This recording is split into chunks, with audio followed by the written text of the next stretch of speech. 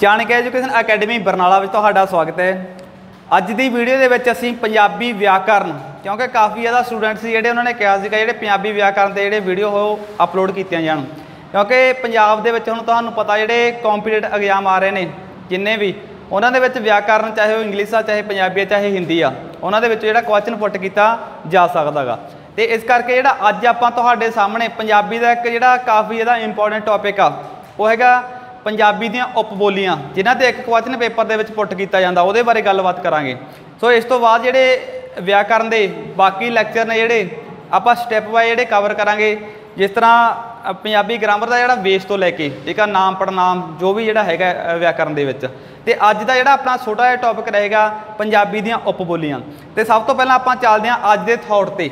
ਅੱਜ ਦਾ ਜਿਹੜਾ ਤੁਹਾਡਾ ਥੌਟ ਆ, ਜਿਹੜਾ ਉਹ ਕੀ ਆ? ਦੇਖੋ ਕਹਿੰਦੇ, ਜ਼ਿੰਦਗੀ ਦੇ ਵਿੱਚ ਸਫਲਤਾ ਨੂੰ ਸਿਰ ਚੜਨ ਨਾ ਦਿਓ। ਸਫਲਤਾ ਨੂੰ ਸਿਰ ਚੜਨ ਨਾ ਦਿਓ ਅਤੇ ਅਸਫਲਤਾ ਨੂੰ ਦਿਲ ਵਿੱਚੋਂ ਉਤਰ ਨਾ ਦਿਓ। ਤਾਂ ਕਹਿਣ ਦਾ ਭਾਵ ਕੀ ਆ ਕਿ ਅਸੀਂ ਜ਼ਿੰਦਗੀ ਦੇ ਵਿੱਚ ਕਈ ਵਾਰੀ ਬੜੇ ਉੱਚੇ ਮਕਾਮ ਤੇ ਪਹੁੰਚ ਜਾਂਦੇ ਆ ਸਫਲਤਾ ਪ੍ਰਾਪਤ ਕਰ ਲੈਂਦੇ ਆ ਪਰ ਕੀ ਆ, ਸਾਡੇ ਦਿਮਾਗ ਤੇ ਜਿਹੜੀ ਸਫਲਤਾ ਦਾ ਇੱਕ ਭੂਤ ਸਵਾਰ ਆਪਾਂ ਕਹਿ ਦਿੰਦੇ ਆ ਵੀ ਜ਼ਿਆਦਾ ਜਿਹੜਾ ਆਪਾਂ ਉਹਨੂੰ ਓਵਰ ਕੌਨਫੀਡੈਂਸ ਕਹਿ ਦਈਏ ਜਾਂ ਫਿਰ ਜ਼ਿਆਦਾ ਸਫਲਤਾ ਤੇ ਖੁਸ਼ੀ ਨਹੀਂ ਮਨਾਉਣੀ ਚਾਹੀਦੀ ਮੇਰੇ ਹਿਸਾਬ ਨਾਲ ਠੀਕ ਹੈ? ਸਫਲਤਾ ਨੂੰ ਸਾਡੇ ਅੰਦਰ ਸਹਿਣ ਕਰਨ ਦੀ ਜਿਹੜੀ ਇੱਕ ਸ਼ਕਤੀ ਤੁਹਾਡੇ ਅੰਦਰ ਹੋਣੀ ਚਾਹੀਦੀ ਆ ਵੀ ਸਫਲਤਾ ਤੇ ਬਹੁਤੀ ਖੁਸ਼ੀ ਨਾ ਮਨਾਓ ਅਤੇ ਅਸਫਲਤਾ ਤੇ ਬਹੁਤਾ ਦੁੱਖ ਨਹੀਂ ਮਨਾਉਣਾ ਚਾਹੀਦਾ। ਅਤੇ ਨੰਬਰ 2 ਤੇ ਕੀ ਆ? ਕਹਿੰਦੇ ਅਸਫਲਤਾ ਨੂੰ ਦਿਲ ਵਿੱਚ ਉਤਰ ਨਾ ਦਿਓ।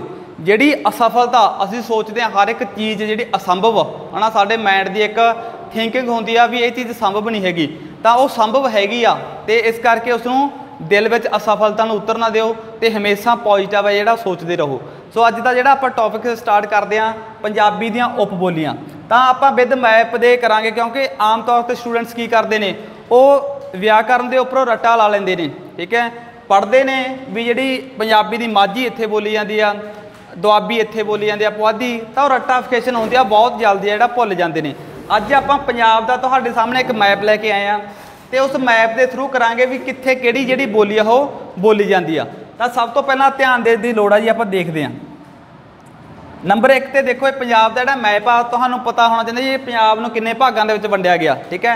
ਤਾਂ ਦੇਖੋ, ਸਭ ਤੋਂ ਪਹਿਲਾਂ ਪੰਜਾਬ ਨੂੰ ਆਪਾਂ ਤਿੰਨ ਭਾਗਾਂ ਦੇ ਵਿੱਚ ਵੰਡਿਆ ਹੋਇਆ, ਜਿਹਦੇ ਵਿੱਚ ਆਪਾਂ ਮਾਝੇ ਦੀ ਗੱਲ ਕਰਦੇ ਹਾਂ ਦੁਆਬਾ ਤੇ ਮਾਲਵਾ, ਠੀਕ ਹੈ? ਸਭ ਤੋਂ ਪਹਿਲਾਂ ਜਿਹੜੀ ਸਤਲੁਜ ਆ, ਠੀਕ ਹੈ? ਆ ਜਿਹੜਾ ਵਾਲਾ ਸਤਲੁਜ ਦਰਿਆ ਜਿਹੜਾ ਆਪਣਾ ਜਾ ਰਿਹਾ, ਸਤਲੁਜ, ਕਿਉਂਕਿ ਜਿਹੜੇ ਪੁਰਾਣੇ ਸਮੇਂ ਦੇ ਵਿੱਚ ਸੀ ਜਿਹੜੇ ਆਪਾਂ ਨੂੰ ਪਤਾ ਵੀ ਜਿਹੜੇ ਪੰਜ ਦਰਿਆ ਵਗਦੇ ਸੀ, ਪਰ ਅੱਜ ਕੀ ਹੈਗਾ? ਅੱਜ ਦੇ ਟਾਈਮ ਦੇ ਵਿੱਚ ਪੰਜਾਬ ਦੇ ਵਿੱਚ ਸਿਰਫ ਤਿੰਨ ਦਰਿਆ ਵਗਦੇ ਨੇ, ਠੀਕ ਹੈ? ਜਿਹਦੇ ਵਿੱਚ ਕੀ ਆ? ਸਤਲੁਜ ਵਿਆਸ ਤੇ ਰਾਵੀ, ਠੀਕ ਹੈ? ਤੇ ਪੁਰਾਣੇ ਸਮੇਂ ਦੇ ਵਿੱਚ ਜੇਲਮ ਤੇ ਚਨਾਬ ਸੀ ਜਿਹੜੇ ਹੁਣ ਪਾਕਿਸਤਾਨ ਦੇ ਵਿੱਚ ਜਾ ਚੁੱਕੇ ਨੇ, ਠੀਕ ਹੈ? ਹੁਣ ਤਾਂ ਦੇਖੋ ਇੱਥੇ ਕੀ ਆ ਜੀ, ਇਹ ਜਿਹੜੀ ਆਪਣੀ ਜਾ ਰਹੀ ਆ ਸਤਲੁਜ ਦਾ ਖੇਤਰ, ਜਿਹੜਾ ਸਤਲੁਜ ਤੋਂ ਹੇਠਲਾ ਆਹ ਵਾਲਾ ਖੇਤਰ ਆ, ਇਹਦੇ ਵਿੱਚ ਜਿਹੜਾ ਮਾਲਵਾ ਪੈ ਰਿਹਾ, ਤੁਸੀਂ ਦੇਖ ਰਹੇ ਹੋ ਸਾਹਮਣੇ ਮਾਲਵਾ, ਠੀਕ ਹੈ? ਮਾਲਵੇ ਦੇ ਵਿੱਚ ਆਪਣੇ 14 ਜ਼ਿਲ੍ਹੇ ਆਉਂਦੇ ਆ ਜੀ। ਕਿੰਨੇ ਜ਼ਿਲ੍ਹੇ ਆਉਂਦੇ ਆ ਜਿਹਦੇ ਵਿੱਚ? 14 ਜਿਹਦੇ ਵਿੱਚ ਫਿਰੋਜ਼ਪੁਰ, ਮੋਗਾ, ਲੁਧਿਆਣਾ, ਆਪਾਂ ਇਹ ਸਾਰੇ ਤੁਸੀਂ ਪੜ੍ਹ ਸਕਦੇ ਜਿਹੜੇ 14 ਜ਼ਿਲ੍ਹੇ ਆ ਰਹੇ ਨੇ। ਉਸ ਤੋਂ ਜਿਹੜਾ ਅਗਲਾ ਜਿਹੜਾ ਆਪਣਾ ਸਤਲੁਜ ਤੋਂ ਉੱਪਰਲਾ ਜਿਹੜਾ ਆਹ ਵਾਲਾ ਦਰਿਆ, ਇਹ ਜਿਹੜਾ ਆਪਣਾ ਆ ਗਿਆ ਵਿਆਸ ਜੀ ਵਿਆਸ ਤਾਂ ਵਿਆਸ ਆਪਾਂ ਨੂੰ ਪਤਾ ਵੀ ਸਿਕੰਦਰ ਵੀ ਜਿਹੜਾ ਇੱਥੋਂ ਵਿਆਸ ਤੋਂ ਜਿਹੜਾ ਮਾਰ ਖਾ ਕੇ ਵਾਪਸ ਮੁੜਿਆ ਸੀਗਾ ਠੀਕ ਹੈ ਜਦੋਂ ਆਪਣੇ ਸਿਕੰਦਰ ਨੇ ਹਮਲਾ ਕੀਤਾ ਸੀਗਾ 326 ਦੇ ਵਿੱਚ ਤਾਂ ਤੁਹਾਨੂੰ ਪਤਾ ਵੀ ਧਨਾਰੰਦ ਜਿਹੜਾ ਧਨਾਨੰਦ ਸੀ ਜਿਹੜਾ ਠੀਕ ਹੈ? ਤਾਂ ਉਸ ਦਾ ਸ਼ਾਸਨ ਸੀਗਾ ਆਪਣੇ ਪੰਜਾਬ ਦੇ ਵਿੱਚ ਉਸ ਸਮੇਂ ਠੀਕ ਹੈ? ਤਾਂ ਇਹ ਜਿਹੜਾ ਆਪਣਾ ਵਿਆਸ ਦਰਿਆ ਗਾ ਵਾਲਾ ਠੀਕ ਹੈ? ਜਿਹਦੇ ਵਿੱਚ ਆਪਾਂ ਕਹਿੰਦੇ ਹਾਂ ਸਤਲੁਜ ਤੇ ਵਿਆਸ ਦੇ ਵਿਚਕਾਰਲੇ ਖੇਤਰ ਨੂੰ ਆਪਾਂ ਕੀ ਕਹਾਂਗੇ ਜੀ? ਦੁਆਬਾ ਠੀਕ ਹੈ? ਸਤਲੁਜ ਤੋਂ ਹੇਠਲੇ ਖੇਤਰ ਨੂੰ ਕੀ ਕਹਾਂਗੇ ਆਪਾਂ? ਮਾਲਵਾ। ਇਹਦੇ ਵਿੱਚ 14 ਜ਼ਿਲ੍ਹੇ ਪੈਂਦੇ ਇਹਦੇ ਵਿੱਚ ਆਪਣੇ 4 ਜ਼ਿਲ੍ਹੇ ਪੈਂਦੇ ਆ, ਦੱਸਾਂ ਕਿਹੜੇ ਕਿਹੜੇ ਉਸ ਤੋਂ ਅੱਗੇ ਜਿਹੜਾ ਆ ਗਿਆ ਆਪਣਾ ਮਾਝਾ ਠੀਕ ਹੈ? ਇਹ ਜਿਹੜੀ ਆਪਣੇ ਉੱਪਰ ਰਾਵੀ ਨਿਕਲ ਗਈ, ਠੀਕ ਹੈ? ਤਾਂ ਇਹ ਵਾਲੇ ਜਿਹੜੇ ਪੰਜਾਬ 'ਚ ਹੁਣ ਪ੍ਰੈਜ਼ੈਂਟਲੀ ਦਰਿਆ ਵਗਦੇ ਨੇ। ਹੁਣ ਆਪਾਂ ਯਾਦ ਕਿਵੇਂ ਰੱਖਣਾ ਦੇਖੋ ਐਗਜ਼ਾਮੀਨਰ ਇੱਥੇ ਦੋ ਤਰੀਕੇ ਨਾਲ ਕੁਐਸਚਨ ਪੁੱਟ ਕਰਦਾਗਾ। ਸਭ ਤੋਂ ਪਹਿਲਾਂ ਤੁਹਾਨੂੰ ਪੁੱਛ ਸਕਦਾ ਵੀ ਜਿਹੜੀ ਮਾਝੀ ਕਿੱਥੇ ਬੋਲੀ ਜਾਂਦੀ ਆ, ਠੀਕ ਹੈ? ਜਾਂ ਫਿਰ ਦੁਆਬੀ ਕਿੱਥੇ ਬੋਲੀ ਜਾਂਦੀ ਆ, ਜਾਂ ਫਿਰ ਮਲਵਈ ਆ ਜਿਹੜੀ ਉਹ ਕਿੱਥੇ ਬੋਲੀ ਜਾਂਦੀ ਆ, ਠੀਕ ਹੈ? ਤਾਂ ਆਪਾਂ ਇਹ ਧਿਆਨ ਦੇਣਾ ਇਹਦੇ ਵਿੱਚ ਹੀ। ਤਾਂ ਸਭ ਤੋਂ ਪਹਿਲਾਂ ਦੇਖਦੇ ਹਾਂ ਆਪਾਂ ਇਹਦਾ ਆਪਾਂ ਇੱਕ ਟ੍ਰਿਕ ਬਣਾਵਾਂਗੇ ਜੀ, ਠੀਕ ਆ? ਅੱਗੇ ਤੁਹਾਨੂੰ ਲਿਖੇ ਹੋ ਵੀ ਮਿਲ ਜਾਣਗੇ, ਤਾਂ ਸਭ ਤੋਂ ਪਹਿਲਾਂ ਆਪਾਂ ਮੈਪ ਦੀ ਕਰਾਂਗੇ। ਤਾਂ ਇੱਥੇ ਉੱਪਰ ਸਭ ਤੋਂ ਉੱਪਰ ਤੁਸੀਂ ਦੇਖ ਰਹੇ ਹੋ ਪਠਾਨਕੋਟ ਜੀ, ਪੀ ਤੇ ਪਠਾਨਕੋਟ। ਤਾਂ ਪਠਾਨਕੋਟ ਕਿਹਦੇ ਵਿੱਚ ਪੈ ਗਿਆ ਜੀ ਆਪਣਾ? ਇਹ ਪੈ ਗਿਆ ਹੈਗਾ ਵਿਆਸ ਤੇ ਰਾਵੀ ਦੇ ਵਿਚਕਾਰਲਾ ਖੇਤਰ ਹੈਗਾ, ਠੀਕ ਹੈ ਜਾਂ ਕਈ ਵਾਰੀ ਐਦਾਂ ਐਗਜ਼ਾਮੀਨਰ ਦੁਆਰਾ ਪੁੱਛਿਆ ਜਾਂਦਾ ਵੀ ਜਿਹੜਾ ਵਿਆਸ ਤੇ ਰਾਵੀ ਦੇ ਵਿਚਕਾਰ ਕਿਹੜੀ ਬੋਲੀ ਬੋਲੀ ਜਾਂਦੀ ਹੈ ਇੱਥੇ? ਇਸ ਤਰੀਕੇ ਨਾਲ ਹੀ ਪੁੱਟ ਕੀਤਾ ਜਾ ਸਕਦਾ। ਤਾਂ ਪੀ ਤੋਂ ਬਾਅਦ, ਉਸ ਤੋਂ ਬਾਅਦ ਦੇਖੋ ਜੀ ਤੇ ਗੁਰਦਾਸਪੁਰ, ਠੀਕ ਹੈ? ਏ ਤੇ ਅੰਮ੍ਰਿਤਸਰ ਤੇ ਟੀ ਤੇ ਤਰਨ ਤਾਰਨ। ਇਹ ਜਿਹੜੇ ਆਪਣੇ ਚਾਰ ਜ਼ਿਲ੍ਹੇ ਆਉਂਦੇ ਆ ਇਸ ਵਿੱਚ, ਕਿਹੜੇ ਕਿਹੜੇ? ਪਠਾਨਕੋਟ, ਗੁਰਦਾਸਪੁਰ, ਅੰਮ੍ਰਿਤਸਰ ਤੇ ਤਰਨ ਤਾਰਨ। ਤਾਂ ਇਹਦਾ ਟ੍ਰਿਕ ਹੈਗਾ ਪੀਜੀਏ। ਦੇਖੋ ਜੀ, ਪੀਜੀਏ। ਕੀ ਪੀਜੀਏ? ਟੀ ਠੀਕ ਹੈ ਆਪਾਂ ਟ੍ਰਿਕ ਬਣਾ ਲਿਆ, ਪੀਜੀਏ ਟੀ ਤਾਂ ਇਸ ਤੋਂ ਅੱਗੇ ਥੋੜਾ ਯਾਦ ਰੱਖ ਦਿਓ ਮਜ਼ੇ ਨਾਲ। ਮਜ਼ੇ ਨਾਲ ਆਪਾਂ ਯਾਦ ਰੱਖਾਂਗੇ ਮਾਝਾ। ਠੀਕ ਹੈ? ਤਾਂ ਇਹਦਾ ਇੱਕ ਬੜਾ ਸੌਖਾ ਟ੍ਰਿਕ ਹੈਗਾ ਪੀਜੀਟੀ ਮਜ਼ੇ ਨਾਲ। ਤਾਂ ਪਠਾਨਕੋਟ, ਗੁਰਦਾਸਪੁਰ, ਅੰਮ੍ਰਿਤਸਰ ਤੇ ਤਰਨ ਤਾਰਨ। ਇਹਨਾਂ ਦੀ ਸੀਕੁਐਂਸੀ ਵੀ ਇਹੀ ਆ। ਉੱਪਰੋਂ ਹੇਠਾਂ ਨੂੰ ਲੈ ਕੇ ਜੇ ਆਪਾਂ ਸੀਕੁਐਂਸੀ ਦੀ ਗੱਲ ਕਰਾਂਗੇ, ਇਹਦੀ ਇਹਦੀ ਇਹੀ ਬਣ ਰਹੀ ਆ। ਤਾਂ ਇਹ ਸਭ ਤੋਂ ਸੌਖਾ ਜਿਹੜਾ ਤਰੀਕਾ ਤੁਹਾਡੇ ਮਾਈਂਡ ਦੇ ਵਿੱਚ ਆਏਗਾ ਵੀ ਜਿਹੜੀ ਮਾਝੀ ਆ, ਉਹ ਕਿੱਥੇ ਬੋਲੀ ਜਾਂਦੀ ਆ। ਤਾਂ ਦੇਖੋ ਜੀ, ਜਿਹੜਾ ਮਾਝੀ ਜੇਕਰ ਤੁਹਾਨੂੰ ਦਰਿਆਵਾਂ ਦੀ ਗੱਲ ਕੀਤੀ ਜਾਂਦੀ ਆ, ਤਾਂ ਬਿਆਸ ਤੋਂ ਲੈ ਕੇ ਰਾਵੀ ਦੇ ਵਿਚਕਾਰਲਾ ਜਿਹੜਾ ਖੇਤਰ ਆ, ਉੱਥੇ ਕਿਹੜੀ ਬੋਲੀ ਜਾਂਦੀ ਆ?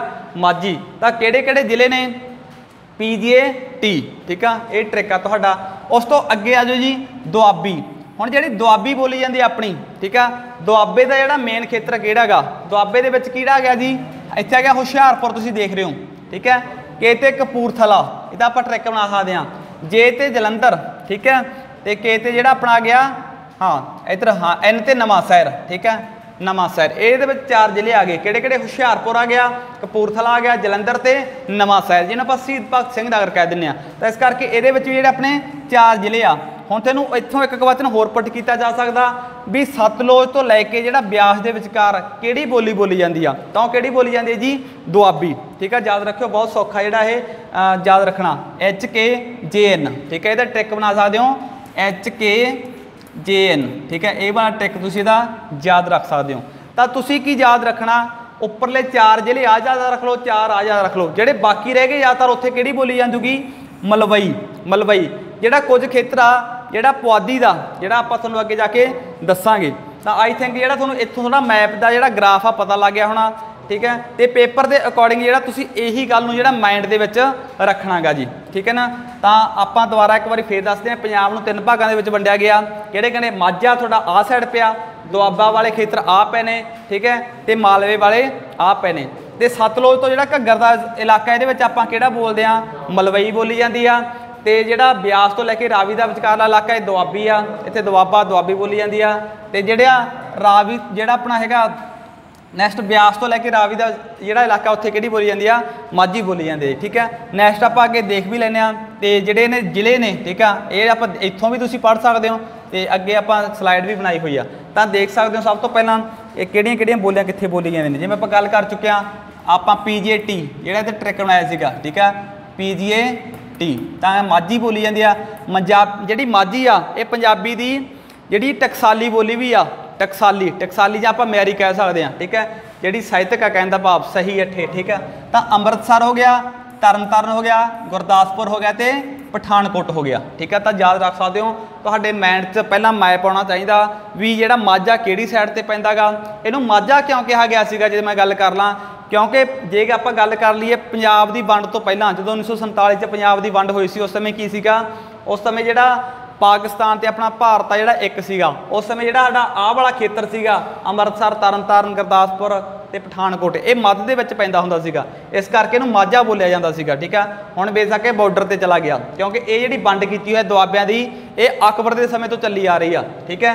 ਉਸ ਤੋਂ ਅੱਗੇ ਦੁਆਬੇ ਦਾ ਖੇਤਰ ਜਿਹਦੇ ਵਿੱਚ ਆਪਾਂ ਕੀਤਾ ਸੀਗਾ ਜਲੰਧਰ, ਕਪੂਰਥਲਾ, ਹੁਸ਼ਿਆਰਪੁਰ, ਸ਼ਹੀਦ ਭਗਤ ਸਿੰਘ ਨਗਰ, ਜਿਹਨੂੰ ਆਪਾਂ ਨਵਾਂ ਸ਼ਹਿਰ ਕਹਿੰਦੇ ਆ ਠੀਕ ਹੈ? ਐਚ ਕੇ ਜੇ ਜਿਵੇਂ ਮਰਜ਼ੀ ਯਾਦ ਰੱਖ ਲਓ, ਆਪਾਂ ਟ੍ਰਿਕ ਬਣਾਇਆ ਸੀਗਾ, ਠੀਕ ਹੈ? ਜਾਂ ਫਿਰ ਜੇ ਕੇ ਇਸ ਤਰ੍ਹਾਂ ਬਣਾ ਲਓ ਜੇ ਕੇ ਐਚ ਐਸ ਠੀਕ ਆ ਜਾਂ ਫਿਰ ਇੱਥੇ ਐਨ ਕਰ ਲਓ, ਨਵਾਂ ਸ਼ਹਿਰ। ਕਿਉਂਕਿ ਇਹਦਾ ਨਾਮ ਜਿਹੜਾ ਹੁਣ ਸ਼ਹੀਦ ਭਗਤ ਸਿੰਘ ਨਗਰ ਆ, ਪਹਿਲਾਂ ਇਹਨੂੰ ਨਵਾਂ ਸ਼ਹਿਰ ਬੋਲਦੇ ਹੁੰਦੇ ਸੀਗੇ, ਠੀਕ ਹੈ? ਤਾਂ ਇੱਥੇ ਬੋਲੀ ਜਾਂਦੀ ਆ। ਉਸ ਤੋਂ ਬਾਅਦ ਜਿਹੜਾ ਪੁਆਧੀ ਦਾ ਖੇਤਰ ਥੋੜਾ ਜਿਹਾ ਆਮ ਤੌਰ ਤੇ ਜ਼ਿਆਦਾ ਪੇਪਰ ਦੇ ਵਿੱਚ ਮਾਝੀ ਦਾ ਜਿਹੜਾ ਤੁਹਾਨੂੰ ਖੇ- ਖੇਤਰ ਪੁੱਛਿਆ ਜਾਂਦਾ, ਜਿਹੜੀ ਪੁਆਧੀ ਆ, ਇਹ ਆਪਣਾ ਕੁਝ ਤਾਂ ਜਿਹੜਾ ਰੂਪਨਗਰ ਦਾ ਖੇਤਰ ਆ, ਰੋਪੜ। ਇੱਕ ਸਾਹਿਬਜ਼ਾਦਾ ਅਜੀਤ ਸਿੰਘ ਨਗਰ ਆ ਜਿਹੜਾ, ਠੀਕ ਹੈ, ਮੋਹਾਲੀ, ਠੀਕ ਹੈ। ਦੂਜਾ ਹੈਗਾ ਪੂਰਬੀ ਹਿੱਸਾ ਪਟਿਆਲੇ ਦਾ ਤੇ ਕੁਝ ਸੰਗਰੂਰ ਦਾ ਤੇ ਮਲੇਰਕੋਟਲੇ ਦਾ। ਇਹ ਵਾਲਾ ਕੁਝ ਕੁ ਇਲਾਕਾ ਹੈਗਾ ਜਿੱਥੇ ਆਪਣੀ ਪੁਆਧੀ ਬੋਲੀ ਜਾਂਦੀ ਹੈ ਜਿਹੜੀ ਆਮ ਤੌਰ ਤੇ, ਠੀਕ ਹੈ।